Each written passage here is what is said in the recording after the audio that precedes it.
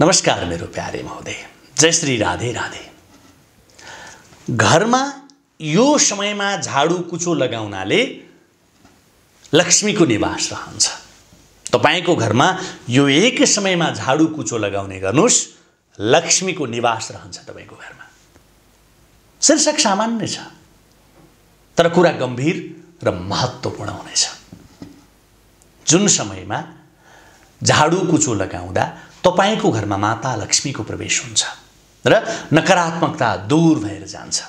हाम्रो हिन्दू धर्मशास्त्रले हरेक काम र हरेक कुराको एउटा निर्धारित समय हुने बताएको छ। र कुनै कुनै समय त्यसमा पनि अति खास हुने कुरा पनि बताएको छ। र त्यो समयमा हामीले यदि त्यो काम गऱ्यौँ भने हामीलाई दुई गुणा बढी सफलता मिल्छ। र हामीलाई सकारात्मक प्रभाव पनि मिल्छ। यसै पनि साँझको समय सफाइ गर्नु भनेको राम्रो मानिन्छ होइन? तर वास्तुशास्त्रमा त्यसको समय पहिले नै निर्धारित गरिएको हुन्छ। झाडु वा कुचो लगाउने उपयुक्त समय कुन हो भनेर पनि प्रष्ट रूपमा वास्तुशास्त्रमा बताएको छ। यो भिडियो वास्तुशास्त्रसँग सम्बन्धित छ। ध्यान दिएर सुन्नुहोस् कि वास्तुशास्त्रले झाडु कुचो लगाउने समय कुन निर्धारित गरेको छ त?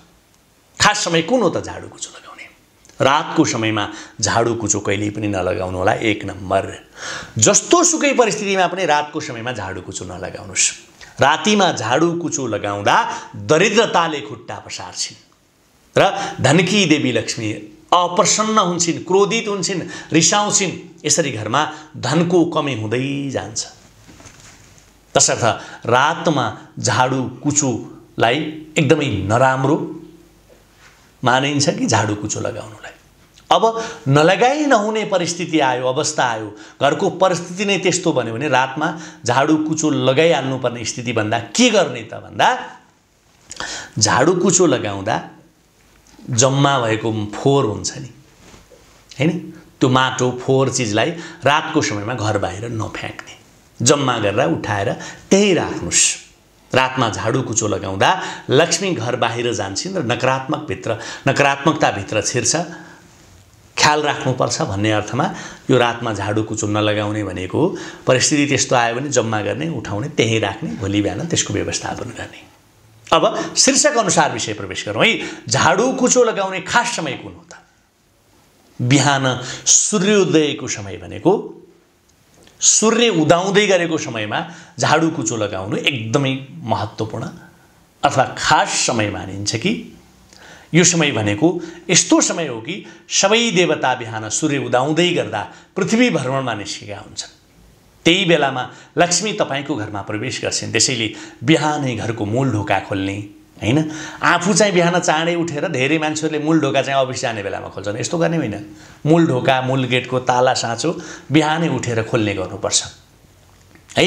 र घर आँगन सफा राख्नुपर्छ। यो प्रचलन परापूर्व कालदेखि नै छ हाम्रो समाजमा। है? अर्को कुरा तपाईँ बिहान बाहिर निस्केको बेलामा कुनै घरमा महिलाले झाडु लगाउँदै गरेको देख्नुभयो भने पनि यो अत्यन्तै शुभ मानिन्छ।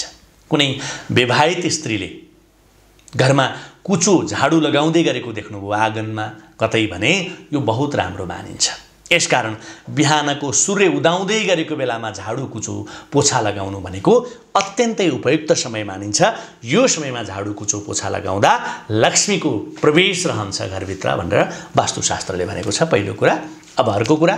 तपाईँ बिहान ढोका खोलेर झाडु कुचो लगाउन लाग्दा अथवा लगाउँदै गर्दा घर वरिपरि तपाईँले देख्ने गरी गौमाता यानि कि गाई भएको देख्नुभयो यो यो जति राम्रो केही पनि हुँदैन। बिहानै उठेर तपाईँले आफ्नो घरको आँगन कौसी बढार्दै गर्दा पोछा लगाउँदै गर्दा कुचो लगाउँदै गर्दा तपाईँले गौमाता देख्नुभयो बहुत राम्रो हुन्छ अब यसरी घरमा लक्ष्मी भित्र्याउने कुरा झाडु वा कुचो कहिले किन्ने त त्यो पनि कुरा गरौँ।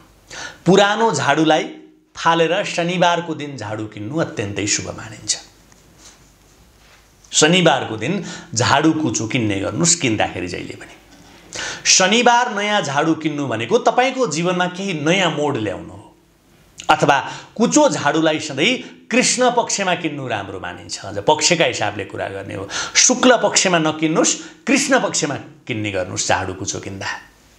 शुक्ल पक्षमा झाडु कुचो किन्नु तपाईँका लागि दुर्भाग्य भनेर भनेको छ। कृष्ण पक्षको शनिबार पारेर किन्नु सबभन्दा राम्रो? तपाईँले तपाईँ अथवा तपाईँको आफ्नो घरमा भएको झाडु कुचो भाँचिएको छ टुक्रँदै टुक्रँदै ठुट्टे जस्तो भइसकेको छ। छोटो बाँकी छ। होइन? भाँचिँदै गएर टुक्रिँदै गएर छोटो बाँकी छ। है? अब यो भाँचिए पनि टुक्रिए पनि जोडेर बाँधेर कसेर तपाईँले प्रयोग गर्दै आउनु भएको छ भने तपाईँले घरको वास्तु बिग्रियो भनेर बुझ्नु होला फेरि। झाडु कुचो टुट्यो भने यसलाई फेर्नुपर्छ बदल्नुपर्छ। टुक्रिएको झाडु कुचो प्रयोग गर्नु पनि राम्रो मानिँदैन। कुचो झाडु कुचो लगाउँदा झाडु लगाउँदाखेरि त्यो कुच्चाको टुक्राहरू त्यो फोहोरसँगै जम्मा हुन्छ भने यो राम्रो होइन। झाडु कुचोलाई लक्ष्मीको प्रतीक मानिन्छ।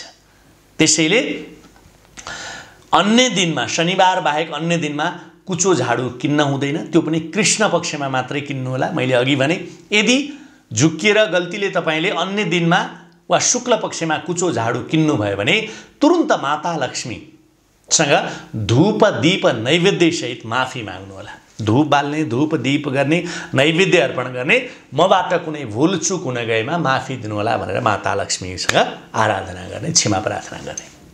महत्त्वपूर्ण कुरा तपाईँले पैसा वा धन राख्ने दराज तिजौरीसँग टच गरेर छुवाएर कहिले पनि झाडु कुचो नराख्नु होला। सिधै रोडमा ल्याउँछ यो कार्यले तपाईँलाई। तपाईँले कुचो वा झाडुलाई कहिले पनि दराज तिजौरी लकरसँग टच गराएर छुवाएर राख्नु हुँदैन अर्को कुरा। कुचो वा झाडुलाई खुल्ला ठाउँमा पनि कहिले पनि राख्नु हुँदैन। बढाएर होइन आँगनको छेउमा परैबाट देखिने गरी मान्छेहरूले कुचो फालेर हिँड्छ नराख्नु होला। यो पनि हिन्दू धर्मशास्त्रले वर्जित गरेको कार्य हो। तसर्थ झाडु कसैले नदेख्ने ठाउँमा राख्दा एकदम राम्रो हुने हुन्छ। अर्को कुरा स्टोर रुममा खाना खाने रुममा पनि झाडु कुचो राख्नु हुँदैन। भान्सा कोठामा पनि राख्नु हुँदैन स्टोर रुममा पनि झाडु कुचो राख्नु हुँदैन। यसले दरिद्रता भित्राउँछ। जहाँ धनको बचत गरिन्छ धन सञ्चित गरिन्छ स्टोर रुम त्यहाँ पनि कुचो राख्न भएन। जहाँ अन्नलाई पकवानका रूपमा तयार गरिन्छ र ग्रहण गरिन्छ त्यहाँ पनि तपाईँले झाडु कुचो राख्नु हुँदैन। यसले दरिद्रता भित्राउँछ मेरो समादरणीय मित्र। आय स्रोतको बाटो बन्द गरिदिन्छ यसले। ख्याल गर्नुहोला। अर्को कुरा के भने घरमा तपाईँको अबोध बच्चाले लुकाएर राखेको झाडु निकालेर आफूले लगाउन सुरु गर्यो। है तपाईँले कुचो एउटा एउटा एउटा निश्चित ठाउँमा लुकाएर राख्ने गर्नुहुन्छ अरू मान्छेको नजर परोस् भनेर। होइन? राख्नु भएको थियो। तपाईँको सानो बच्चाले कुचो झिकेर लाउन सुरु गर्यो। सम्झिनुहोस् तपाईँका शुभ दिन सुरु हुँदैछन्। यसले तपाईँलाई अब भाग्योदय गराउँदैछ। यो राम्रो लक्षण मानिन्छ। र उपयुक्त समयमा घरमा झाडु पुछो पोछा लगाउनु पनि लक्ष्मीको आगमन गराउनु हो मेरो प्यारे महोदय। यो कुरा पनि तपाईँले जानिराख्नुहोला। हामीले झाडु कुचा कोचो पोछा भन्ने कुरालाई हामी सफा गर्ने चिज त हो भन्छौँ। हामी प्रयोग गर्छौँ। प्रयोग गरेर कैयन मान्छेहरूले के गल्ती गर्नुहुन्छ भने प्रयोग गर्नुहुन्छ। अहिले पछि सफा गरौँला होइन? भोलि भन्ने होइन? त्यो चिजलाई सफा नराख्ने बानी हुन्छ। झाडु कुचोलाई जहिले पनि लक्ष्मीको प्रतीक मानिन्छ। हमेसा सफा हुनुपर्छ चम्किलो हुनुपर्छ। जहिले पनि नयाँ जस्तो देखिने अवस्थामा राख्नुपर्छ। यो कुरा पनि विचार गर्नुहोला लौ त आजलाई यो भिडियो यति नै यो विषयवस्तु यति नै। अर्को विषयवस्तुका साथ अर्को भिडियोमा हाम्रो भेट हुनेछ। तपाईँको यो विषयसँग सम्बन्धित कुनै गुनासो मानेसो भए तपाईँको बुझाइ फरक छ अथवा तपाईँको विचार फरक छ भने कमेन्टमा लेख्नुहोला तर भाषा सभ्य प्रयोग गरिदिनु होला भिडियो मन पऱ्यो भने सेयर गरिदिनु होला अहिले बिदा चाहन्छु। जय होस्।